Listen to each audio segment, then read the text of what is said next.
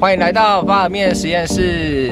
今天户外的温度非常高，大概有三十八度以上。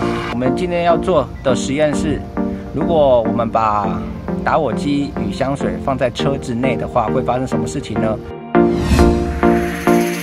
仪表板在高温曝晒下是车内最热的地方。如果我们把打火机与香水放置在仪表板上，会发生什么事情呢？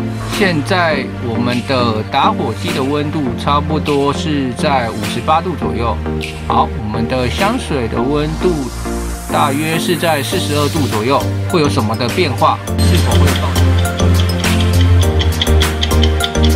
好的，已经过了半个小时喽。我们先来看一下车上的香水瓶与打火机现在的温度是几度了？打火机现在的温度已经显示六十二度了，香水瓶现在的温度是五十七度。我们再稍等一下。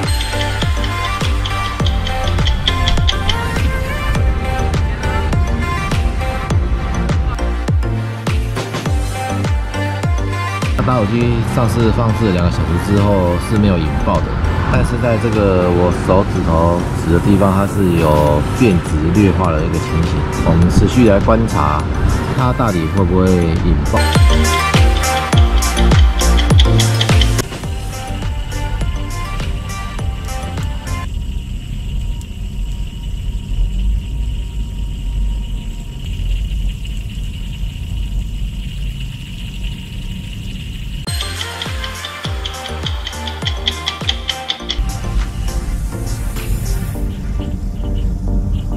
那我们打火机经过了车内曝晒，它虽然没有引爆，但是我们可以看到里面原本添加易燃的气体被蒸发掉了。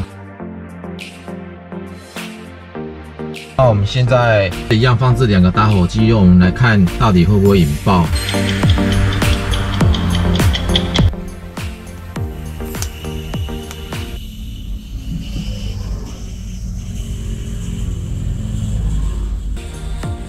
那我们最后实验的结果呢？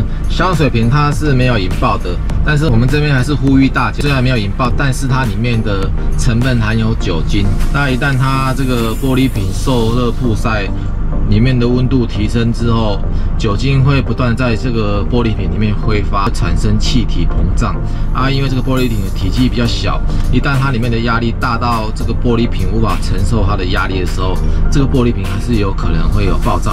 两个打火机都是没有引爆的。打火机通常里面都是添加丁烷、丙烷或是液态石油气。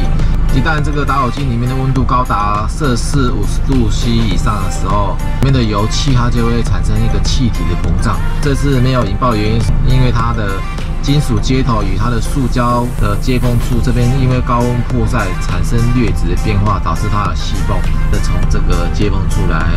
释放它的压力。那假使它这个打火机，它它没有这个细缝处来宣泄里面的压力之后，就有可能产生一个爆裂的情形。我们今天的实验就到这里。我们日前有看到一则新闻，有人在吃火锅的时候不小心把打火机掉到火锅汤底里面，那它到底会不会引爆呢？